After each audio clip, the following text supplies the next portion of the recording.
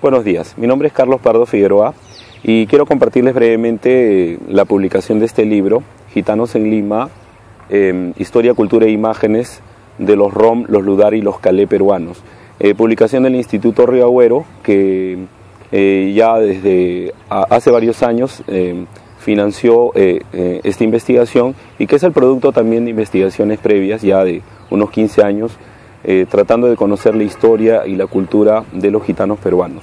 ¿Cómo bueno, inició su acercamiento con el mundo de los gitanos? Hace 15 años, un poco más quizás. Sí, un poco más de 15 años, pues fue algo circunstancial en realidad. Eh, digamos, este, mi señora madre, la señora Berta Tais, eh, Carrillo, ella había conservado un recorte de periódico que aparentemente hizo su hermano, ¿no?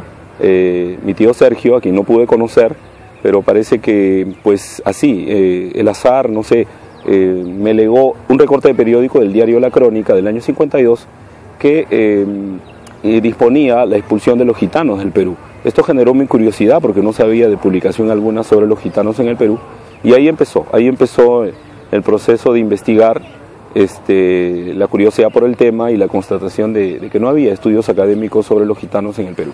Bueno, podría ser que seas el primer gitanólogo peruano. Ah, no, yo creo que ha habido muchos. Eh, quizá, bueno, hasta donde sé, este es el primer libro que se publica, pero no, sería, sería este, presumido de mi parte decirlo, ¿no? Porque ha habido eh, numerosos periodistas eh, que se han interesado en el tema, pero digamos, lo que ha faltado creo es constancia este, y profundización y además revisión de, de estudios especializados sobre los gitanos en el Perú y sobre todo yo diría este, tomar contacto con ellos, ¿no? Eh, eh, contactar con ellos porque tienen pues más de 100 años de presencia en el Perú. Claro, cuéntame básicamente sobre los gitanos en la actualidad en Lima. ¿Hay un número aproximado? ¿De en qué zonas básicamente viven?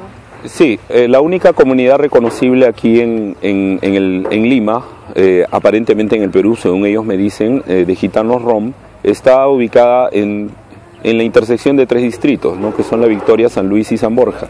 ¿No? O sea, de hecho los vecinos de estos tres distritos saben que están allí, pero son, claro, son dos barrios pequeños básicamente, este, donde vive esta comunidad rom.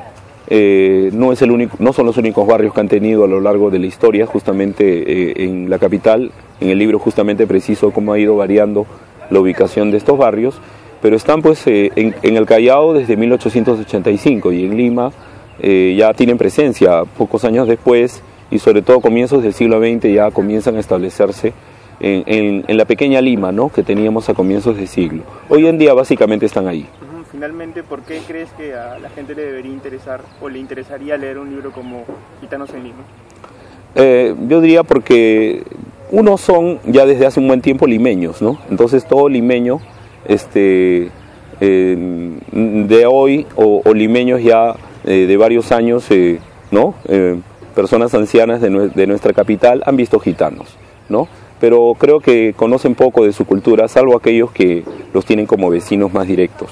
Eh, además la historia, eh, como decía, bueno, este es el primer libro de historia eh, y, pretende hacer también el primer estudio etnográfico sobre los gitanos este, en nuestro país.